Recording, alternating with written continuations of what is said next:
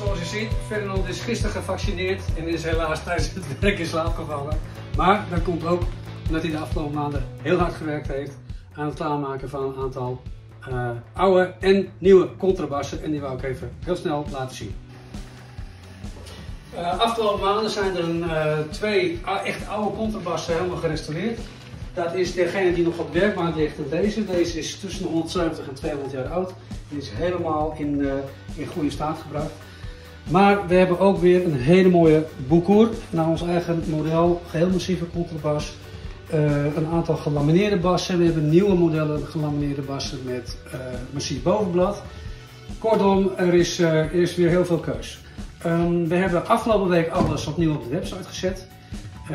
daar staan korte beschrijvingen op. maar daar is natuurlijk niet echt genoeg informatie. Dus het beste is als je zin hebt in een nieuwe contrabas of je wilt gaan beginnen. We hebben echt een grote keus bel ons, maak even een afspraak, dan uh, maak ik Ferdinand ondertussen even wakker. Want die heb je er wel bij nodig. Mooi! Mooi!